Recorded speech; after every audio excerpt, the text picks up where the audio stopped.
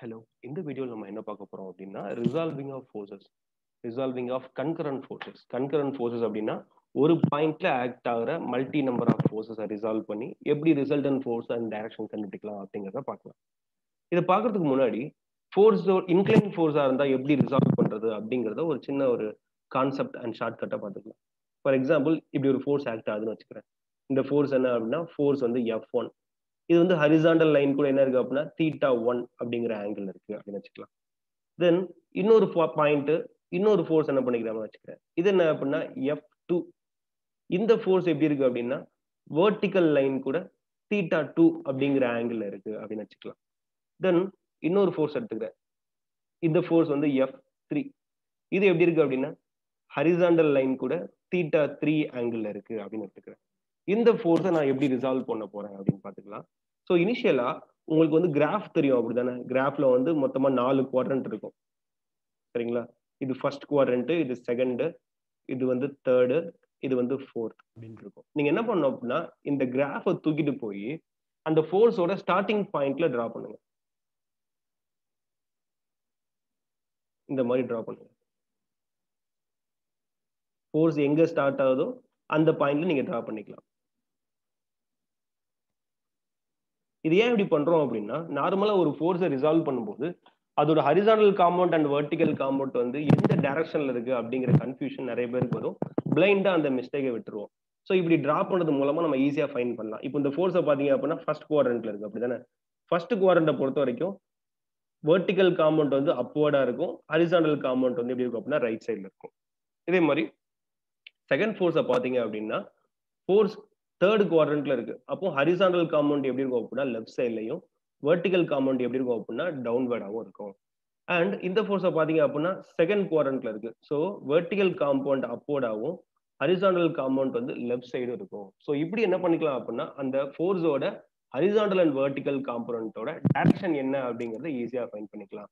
தென் சிலருக்கு இன்னொரு கன்ஃபியூஷன் இருக்கும். என்ன அப்படின்னா காஸ்ட் டேர்ம் எங்க வரும்? சைன் டேர்ம் எங்க வரும்? அப்படிங்கிறது. ஒரு விஷயம் ஞாபகம் வச்சுக்கோங்க. தீட்டா எங்க இருக்கோ அதுக்கு பக்கத்துல இருக்கிறதா என்ன அப்படின்னா காஸ்ட் டேர்ம். அதுக்கு ஆப்போசிட்ல இருக்கிறதா என்ன அப்படின்னா சைன் டேர்ம். ஸோ தீட்டா ஹரிசாண்டல்ல இருந்துச்சு அப்படின்னா ஹரிசாண்டல் காம்பவுண்ட் காஸ்ட். இப்போ இங்க தீட்டா இருக்கா? அப்போ இது வந்து காஸ்ட் டேர்ம் இது வந்து என்ன அப்படின்னா சைன் டேர்ம். இங்க தீட்டா வெர்டிக்கல் காம்பவுண்ட்ல இருக்கு. அப்போ இது காஸ்ட் டேர்ம் இது என்ன அப்படின்னா சைன் டேர்ம். ஸோ இந்த கன்ஃபியூஷன் நார்மலா வரும். ஸோ அதை கிளியர் பண்ணிட்டோம். அதாவது ஹரிசாண்டல் வெர்டிகல் காம்பவுண்டோட டைரக்ஷனை எப்படி ஐடென்டிஃபை பண்றது? எந்த காம்பவுண்ட் காஸ்ட் காம்பவுண்டா வரும்? எந்த காம்பவுண்ட் சைன் காம்பவுண்டா வரும்? அப்படிங்கிற கன்ஃபியூஷன் எல்லாருக்குமே இருக்கும். சரிங்களா? ஸோ இப்போ let me get into the problem four forces act on bolt A as shown in figure determine the resultant of the forces on the belt.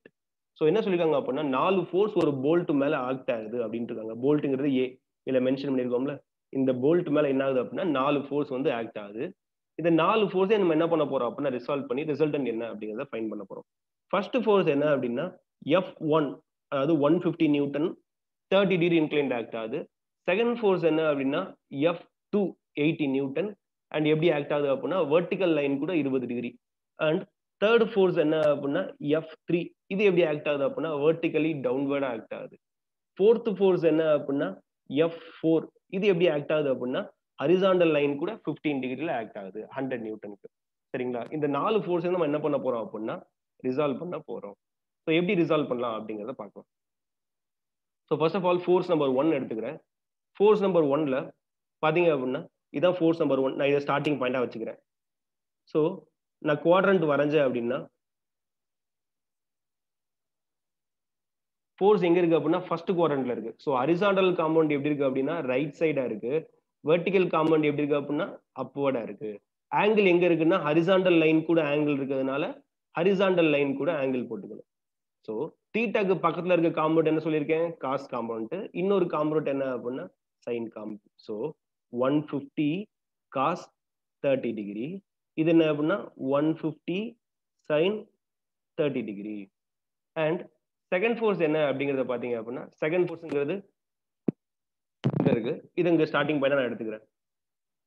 So இதுக்கு நான் ஃபோர்ஸ் வரைகிறேன் அப்படின்னா காம்பனன்ட் ட்ரா பண்றேன் அப்படின்னா இந்த மாதிரி ட்ரா பண்ணுவேன். ஸோ இப்போ என்னோட ஃபோர்ஸ் எங்க இருக்கு அப்படின்னா செகண்ட் குவாரண்ட்ல இருக்கு. கரெக்ட்டுங்களா செகண்ட் குவாரண்ட்ல இருக்கு. தீட்டா எங்க இருக்கு அப்படின்னா வேர்டிக்கல் லைன் கூட தீட்டா இருக்கு. ஸோ இது வந்து காஸ் காம்பனண்ட் இது வந்து என்ன அப்படின்னா சைன் காம்பனண்ட் ஸோ இது என்ன அப்படின்னா எயிட்டி காஸ் டுவெண்ட்டி டிகிரி இது என்ன அப்படின்னா eighty sine twenty degree and third force பார்த்தீங்க அப்படின்னா வேர்டிக்கல் எப்படி இருக்கு? டவுன்வேர்டாக இருக்கு. அண்ட் ஃபோர்த் ஃபோர்ஸ் பார்த்தீங்க அப்படின்னா இன்க்ளைண்டா இருக்கு. So horizontal compound vertical compound so இது பார்த்தீங்க அப்படின்னா ஃபோர்த் குவாரண்ட்ல இருக்கு. தீட்டா வேல்யூ ஹரிசாண்டல் லைன் கூட இருக்கு. ஸோ ஹரிசாண்டல் காம்பவுண்ட் என்ன அப்படின்னா காஸ் காம்பவுண்ட் வெர்டிக்கல் காம்பவுண்ட் என்ன அப்படின்னா சைன் காம்பவுண்ட் ஸோ இது என்ன அப்படின்னா ஹண்ட்ரட் காஸ் ஃபிஃப்டீன் டிகிரி இது என்ன அப்படின்னா hundred sine fifteen degree so this is how we can resolve the forces so ஃபோர்ஸை ரிசால்வ் பண்ணதுக்கப்புறம் பார்த்தீங்க அப்படின்னா உங்களோட மூணு இன்க்ளைன் ஃபோர்ஸையும் ரிசால்வ் பண்ணி முடிச்சிட்டீங்க. தென் ஒரே ஒரு ஃபோர்ஸ் எப்படி இருக்கு? வெர்டிகலா இருக்கு. ரிசால்வ் பண்ணதுக்கு அப்புறம் நீங்க என்ன பண்ணணும் அப்படின்னா ரிசல்டன் ஃபோர்ஸ் என்ன அப்படிங்கறத ஃபைன் பண்ணும் ரிசல்டன் ஃபோர்ஸோட ஃபார்முலா என்ன அப்படின்னா summation of horizontal force square plus summation of vertical force square and அதோட டைரக்ஷன் என்ன அப்படின்னா tan inverse of summation of vertical force divided by summation of horizontal force so resultant force and அதோட direction இந்த ரெண்டே தான் அனுப்ப போகிறோம் fine பண்ண போகிறோம் so first of all let me calculate summation of horizontal forces எதெல்லாம் எனக்கு ஹரிசாண்டல் ஃபோர்ஸஸ் அப்படின்னு பார்க்கலாம். ஸோ ஃபர்ஸ்ட் ஆஃப் ஆல் என்ன இருக்கு அப்படின்னா one fifty cos thirty horizontal act ஆகுது. Eighty sine twenty horizontal act ஆகுது. And then hundred cos fifteen ஹரிசான்லாம் act ஆகுது. ஸோ மூணு ஃபோர்ஸ் எப்படி இருக்கு அப்படின்னா ஹரிசான்லாம் ஆக்ட் ஆகுது. லெட் மீ டேக் அசம்ஷன் ஒரு கிராஃப் எடுத்துக்கிறேன். கிராஃப்ல அப்வேர்டா போறத பாசிட்டிவும் டவுன்வேர்டா வரத நெகட்டிவ்னும் ரைட் சைட் போறத பாசிட்டிவ்னும் லெஃப்ட் சைடு வரத நெகட்டிவ்னு எடுத்துக்கிறேன். நீங்க எதை வேணாலும் பாசிட்டிவ் நெகட்டிவா எடுத்துக்கலாம். But opposite direction means opposite சைன்ஸ்ல வச்சுக்கணும். நீங்க ரைட் சைடு நெகட்டிவ் எடுத்தீங்க அப்படின்னா லெஃப்ட் சைடு பாசிட்டிவ்னு எடுக்கணும். இந்த மாதிரி அசம்ஷன் பேக் பண்ணிக்கலாம். நான் என்ன பண்ணிருக்கேன் அப்படின்னா ரைட் சைட பாசிட்டிவ்னும் லெஃப்ட் சைடு நெகட்டிவ்னு எடுத்திருக்கேன். இதுக்கு ஹரிசாண்டல் ஃபோர்ஸுக்கு ஸோ இப்போ நான் ஒவ்வொரு ஃபோர்ஸாக எழுதுறேன் ஃபர்ஸ்ட் என்ன அப்படின்னா one fifty cos thirty degree இது எப்படி ஆக்ட் ஆகுதுன்னா ரைட் சைடில் ஆக்ட் ஆகுது. ரைட் சைடில் ஆக்ட் ஆன என்னது? பாசிட்டிவ் செகண்ட் ஃபோர்ஸ் என்ன எடுத்துக்கிறேன் அப்படின்னா எயிட் சைன் டுவெண்ட்டி டிகிரி இது என்னதுன்னா லெஃப்ட் சைடு ஆக்ட் ஆகுது. லெஃப்ட் சைடு ஆக்ட் ஆகுதுன்னு நெகட்டிவ் தேர்ட் ஃபோர்ஸ் என்ன அப்படின்னா cos fifteen hundred cos fifteen degree இது எப்படி ஆக்ட் ஆகுது அப்படின்னா ரைட் சைடில் ஆக்ட் ஆகுது. ரைட் சைடில் ஆக்ட் ஆகுதுன்னா என்னது? பாசிட்டிவ் ஸோ சம்மேஷன் பண்ண அப்படின்னா சைன் காஸ்ட் டீட்டாக்லாம் வேல்யூ போட்டேன் அப்படின்னா எனக்கு ஆன்சர் என்ன வந்துச்சு அப்படின்னா one ninety nine point one newton இதுதான் என்ன அப்படின்னா summation of horizontal forces value இப்போ சம்மேஷன் ஆஃப் வெர்டிகல் ஃபோர்ஸஸ் என்ன அப்படிங்கிறத கேல்குலேட் பண்ணலாம். எதெல்லாம் வேர்டிகல் ஃபோர்ஸ் அப்படின்னா one fifty sine sine thirty vertical eighty cos twenty vertical one ten newton vertical and hundred sine fifteen vertical so மொத்தமாக எத்தனை? நாலு force எனக்கு என்ன ஆகுது அப்படின்னா வேர்ட்டிக்கல் ஆக்ட் ஆகுது.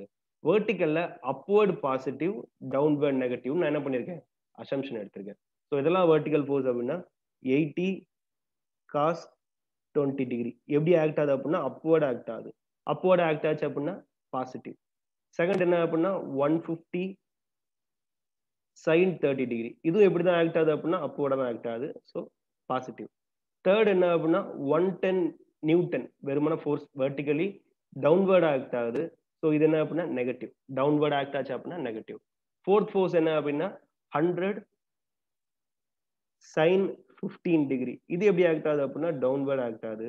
ஸோ இதோட சைனும் என்ன அப்படின்னா நெகட்டிவ் இதை நான் சால்வ் பண்ணேன் சைன் தீட்டா எல்லாத்துக்குமே காஸ் தீட்டா எல்லாத்துக்குமே வேல்யூ போட்டேன் அப்படின்னா எனக்கு என்ன ஆன்சர் வந்துச்சு அப்படின்னா fourteen point three three newton இதான் என்னோட சம்மேஷன் ஆஃப் வெர்டிகல் ஃபோர்ஸோட வேல்யூ ஸோ ஒன்ஸ் நான் summation of horizontal forces summation of vertical forces கண்டுபிடிச்சிட்டேன் அப்படின்னா next what I need to calculate is the resultant force resultant ஃபோர்ஸோட ஃபார்ம்ல நம்ம ஆல்ரெடி சொல்லியிருக்கோம்.